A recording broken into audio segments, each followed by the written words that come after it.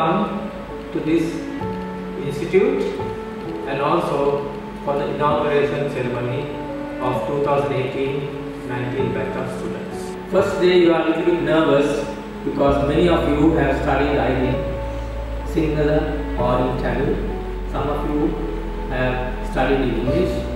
Don't worry, our staff members are there to help you. We would like you to enjoy as much as possible. So you can have fun, absolutely no problem. But at the same time, we are very strict with respect to discipline.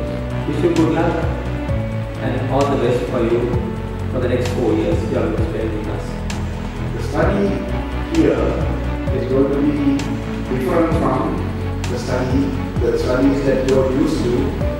Started in 1999. We have 19 years of excellence, over 300 faculty members, and the collective experience of all these experienced faculty members is over 5,000 years. Our vision is to advance knowledge, foster and promote innovation, to enrich lives and broaden horizons. So the facilities that we have create that environment. We have many campuses.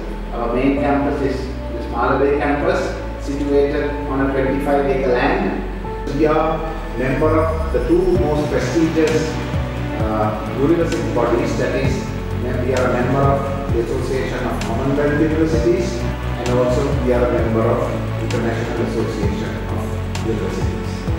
Faculty of Engineering, 14 undergraduate and postgraduate degree programs, 2000 plus students. So this is like the second largest engineering faculty in Sri Lanka now.